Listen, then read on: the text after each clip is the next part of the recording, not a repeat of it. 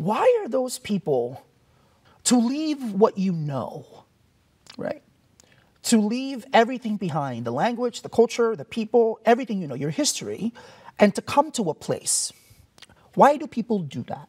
Why are people coming from El Salvador, Guatemala, and Honduras? When you, when you study the history of the 80s, when you study what the Reagan administration did and which, which governments um, the Reagan administration sided with during the civil wars in those countries. When you ask about how did who started the drug war, when you ask questions like what does U.S. foreign policy and trade agreements have to do with migration pattern, meaning why are people coming here? Well, they're coming here for two reasons. They're coming to leave someplace yes. that they believe to have no opportunity for them and may be terrible in all kinds of ways. And they're coming here because they believe there's opportunity here. And we seem to be, regardless of the first half of that, cutting off the second half of that. And also, right. how, how, how did it become so dangerous? How did that happen?